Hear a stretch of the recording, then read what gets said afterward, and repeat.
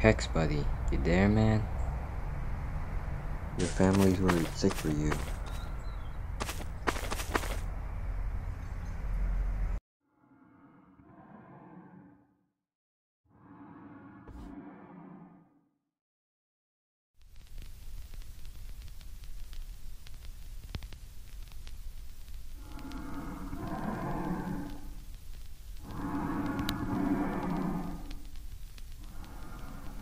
You can come in now. Show me what you saw that night.